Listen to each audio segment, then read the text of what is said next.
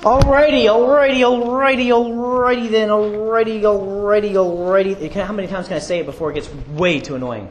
I'm gonna be going back to. You already found that? You already found that? That is awesome. Look at that. Just, just absolutely shredded. Afterward. Thank you. Whew. Is that hot in here? No. No? You guys are comfortable? Okay. If you're comfortable, just stay. What? I would have Fan myself? All right, cool. All right, I've got some things to share with you guys. Naturally. Boom. Okay, what's our series called? Dynasty. Dynasty. Why is it called Dynasty? Why is it Dynasty? He's talking about this dynasty that we Because God was setting up the path dynasty to lead to Jesus. Yes. God was setting up his path, I like that word, path or his dynasty through which the Messiah is going to come. Jesus is coming, not for several hundred years later, but still, Jesus is going to come, and he's going to come through the line of da- Laney. Hi, how are you? Not the line of Laney, but the line of David. We're glad you're here, even if you are late, and you got Hardee's. Hardee's is one of my favorite fast food places. I'm just saying. Seriously, their burgers are like mass. Anyway, before we get on. Okay, so God, in the book of 1 Samuel, God begins to set up his dynasty through which Jesus the Messiah is coming. You guys know that all of Scripture, Old and New Testament, is all about Jesus. Did you know that? Even though Jesus is not present in bodily form in the Old Testament, the Old Testament is still about him. We're going to see a little bit of that tonight. But, um, so, what is the applicational question that I'm asking you guys? You guys remember the applicational question? Um,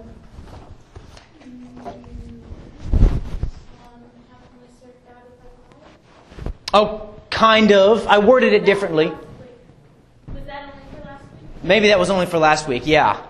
Are you talking about the, the awareness thing? Or is that? No. I'll give you, who's who's your king? Boom. Who's your king? That's the applicational question we're asking through this whole series. Who's your king? You have one of two options. What are they? Yourself or God. That's right. We're either going to bow the knee to king or queen self, and I'm going to do what I want to do in my, with my life. I'm going to do, how, do it how I want to do it, and I'm not going to listen to anybody or anything except me, or I'm going to bow to God. Those are really the only two options. You say, yeah, but what if we choose to follow some other religion and we bow to that religion? Well, really, that's you choosing to do that rather than to bow to God. So really, it's still just bowing to yourself. Make sense? Moving on. Good. All right. Boom. Who memorized Colossians 3.17 from last week? Go, Hallel. And whatever you do, whether in word or deed, do it in the name of the Lord Jesus, giving thanks to God the Father through him. Awesome. Excellent. Trent, did you memorize it? No? You forgot it? That's okay. Matthew, you over there since you weren't here last week. Did you memorize it? I'm just teasing you. Very good, Hillel. Very good. Good, good working on that. Work on the scripture verses because they are tools, they are instruments to help you in this world. Awesome. Good stuff. All right. Let's get to our passage. Oh, wait, before we get to our passage, what happened last week? And? I did got him.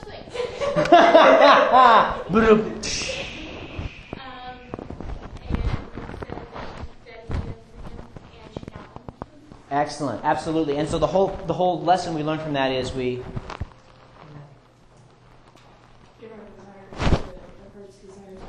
give our heart's desires to God. Does that mean they're always going to come true?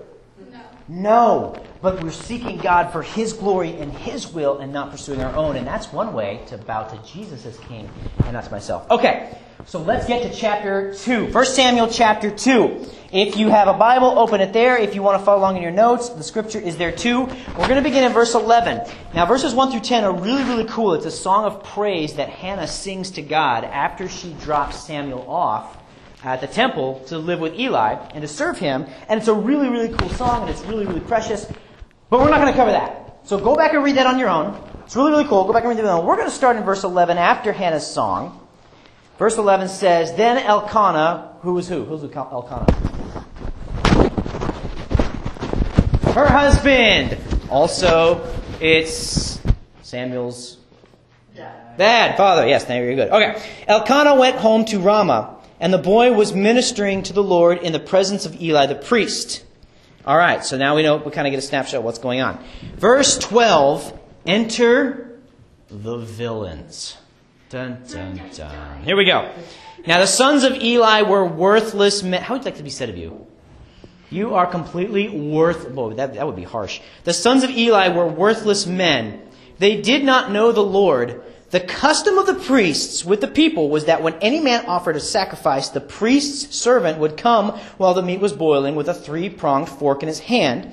He would thrust it into the pan or kettle or cauldron or pot, and all, the for- all that the fork brought up, the priest would take for himself. This is what they did at Shiloh to all the Israelites who came there. Moreover, before the fat was burned, the priest's servant would come and say to the men who were sacrificing, Give meat for the priest to roast, for he will not accept boiled meat from you, but only raw.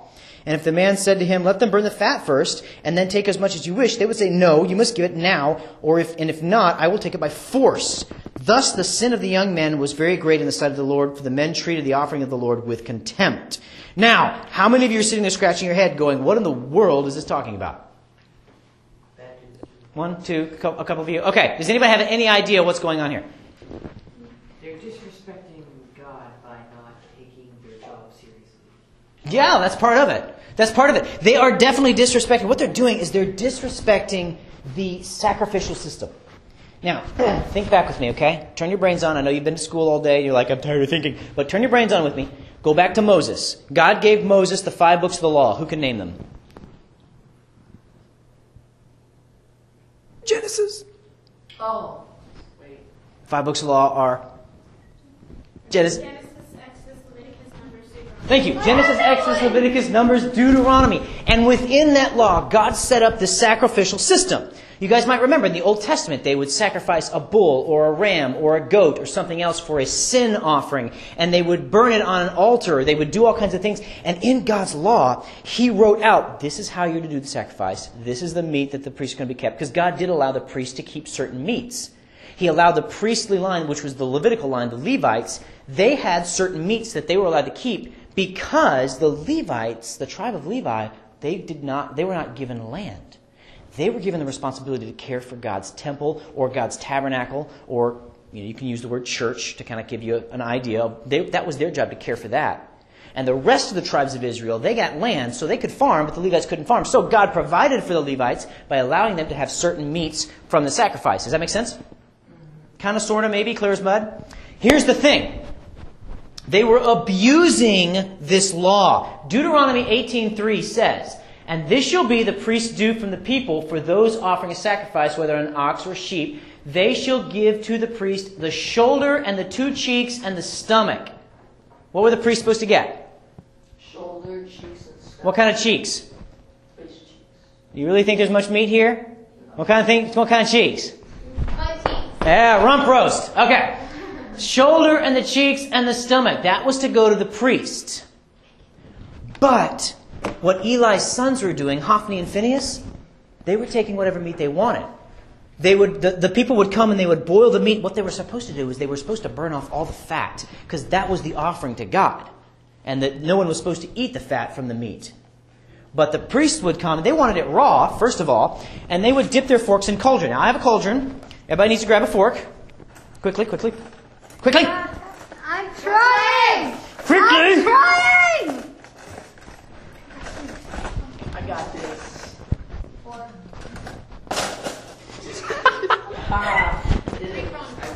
Yeah, yeah, yeah. You can break off a time because there are three exits. No, you don't. No, no, no.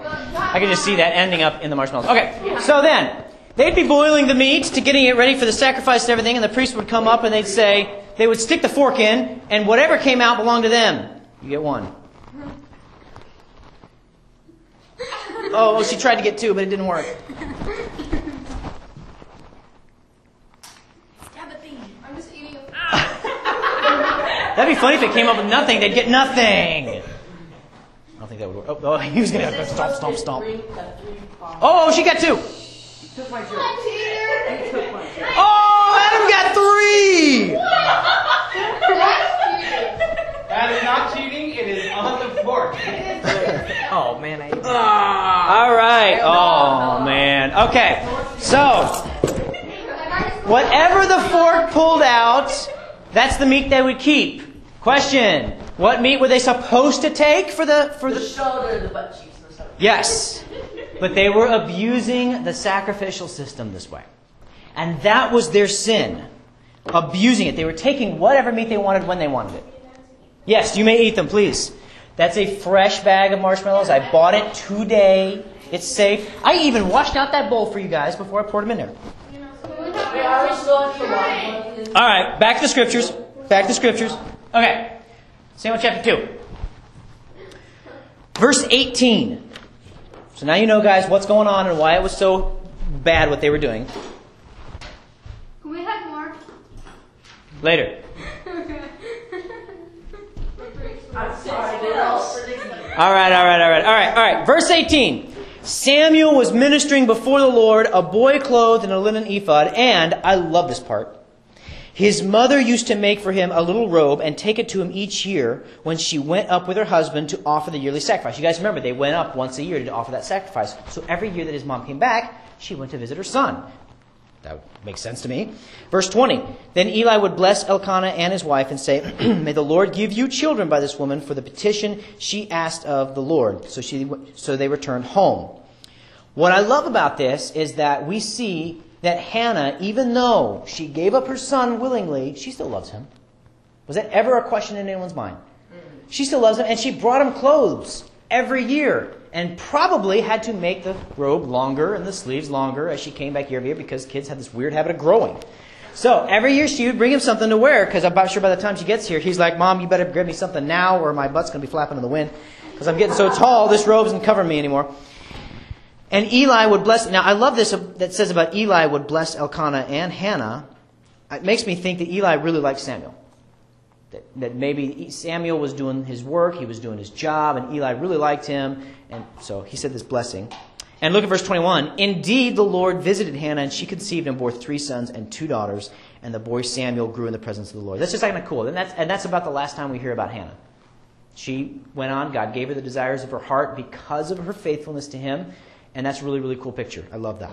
Verse 22. Now, Eli was very old, and he kept hearing all his sons were doing. Were they doing good?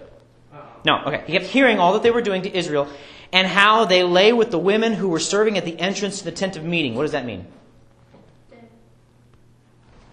They were sleeping with the. They were sleeping around. Absolutely. The women, plural, gives you an idea. They weren't monogamous. That's a big word. What does that mean? One wife. One wife. They didn't stick to one gal. They, they slept around. Good or bad? Yeah, but she didn't. Bad. Bad. Thank you very much. 23. And he said, this is back to Eli, he said to them, Why do you do such things? For I hear of your evil dealings from all these people. No, my sons. Everybody go, No, my sons. No, my Yeah. sons. It is no good report that I hear the people of the Lord spreading abroad. If someone sins against a man, God will mediate for him. But if someone sins against the Lord, who can intercede for him? But they would not listen to the voice of their father, for it was the will of the Lord to put them to death. Now, let me tell you what's going on here. They're sinning by their, they're stealing meat. They're, they're taking what they want. They're not letting the fat cook off. So, that, so they're, they're um, abusing the sacrificial system and they're sleeping around. So these guys, as it says in the very beginning of this paragraph, are worthless men. They're horrible people. They're people that you and I would not want to be our priest. These guys are priests. Think about it. Think about if I was doing horrible things like this, would you guys want to be a part of my youth group? No, absolutely not. You'd be like, get that guy away from me. He is weird. That's the way these guys are. You're a good weird. Thank you. Thank you. And Eli hears of everything they're doing. And guess what? According to the law, they should have been stoned. Adultery was a, a, an offense for which you were stoned. And what did Eli do? Hold out your hand. Bad boy. That's about all the punishment he gave them. Um, this kind of like Americans. Most Americans are like this now. In a lot of ways. Very selfish. Yeah, yeah. That's Yeah, like the very. average eating population. Very, very selfish. Absolutely. And Eli did nothing about it except mildly rebuke them. And it said that they didn't even listen to them. And their punishment should have been stoned. So it says that it was the will of the Lord to put them to death. So God was going to take care of their punishment. That's a scary thing, by the way. Verse 26. Now the boy Samuel continued to grow both in stature and in favor with the Lord and also with man. Now here's our key verse, and let me tell you why. Because amidst all of this negative, evil, sinful influence, Samuel remained faithful to the Lord. We're going to come back to that. Let's finish the story, and I want to come back to that. Okay, verse, 20, verse 27. And there came a man from God Eli and said to him, Thus says the Lord, Did I indeed reveal myself to the house of your father when they were in Egypt, subject to the house of Pharaoh? Did I choose him out of all the tribes of Israel to be my priest, to go up to my altar and burn incense, to wear an ephod before me?